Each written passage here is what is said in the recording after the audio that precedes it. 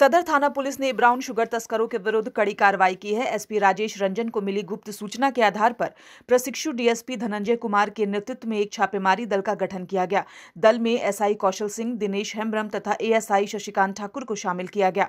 घटना का सत्यापन करते हुए पुलिस की टीम ने वाहन चेकिंग अभियान चलाया। इस दौरान सफ़ेद रंग की अपाची मोटरसाइकिल से गिद्धौर से चतरा की ओर आ रहे मोटरसाइकिल की तलाशी ली गई।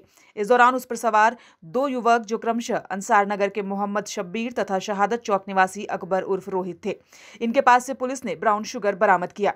गिरफ़्तार आरोपियों से पूछताछ के बाद पुलिस ने उन्हें जेल भेज दिया है।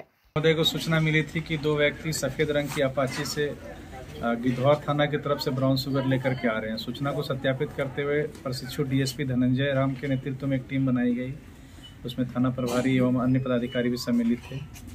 जब उसे रोका गया तो उसके पास से कुल पाँच ग्राम पाँच ग्राम ब्राउन शुगर बरामद हुआ। उनकी निशानदेही से गिदौड़ थाना क्षेत्र के एक और व्यक्ति को गिरफ़्तार किया गया है, जिनका नाम नीलेश कुमार है। उनके पास से पॉइंट ग्राम ब्राउन शुगर प्राप्त हुआ है, जो दो पुड़िया में था। तो इस प्रकार से लगभग छः ग्राम ब्राउन शुगर प्राप्त, बरामद हुआ है और साथ ही तीन व्यक्तियों की गिरफ्तारी हुई है। इसमें मोहम्मद अकबर और मोहम्मद सबीर हैं, जो शहादत चौक, सदर थाना चतरा के रहने वाले हैं। इसके साथ से एक रियल मी टेक्नो मोबाइल भी जब्त हुआ है और एक अपाची मोटरसाइकिल भी जब्त हुआ है। इनका संबंध भी है सर क्या क्रिमिनल लोग लगा रहे हैं उसको पता लगा रहे हैं कि और सारी कड़ी जोड़ने का काम कर रहे हैं। न्यूज़ विंग के लिए चतरा से धर्मेंद्र पाठक की रिपोर्ट। इस नए साल में भी हमारा साथ होगा। दिलों में वही विश्वास होगा। है हमारा वादा।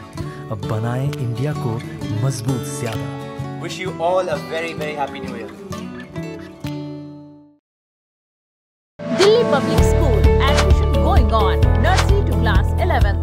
CCTV से लैस क्लासरूम अत्याधुनिक लाइब्रेरी और लैब की व्यवस्था योग्य शिक्षक म्यूज़िक टीचर संवारेंगे आपके बच्चों का भविष्य गर्ल्स बॉयज़ के लिए हॉस्टल आर के ज़रिए पेयजल समेत तमाम मूलभूत सुविधा तो जल्द कराएँ अपने बच्चों का एडमिशन दिल्ली पब्लिक स्कूल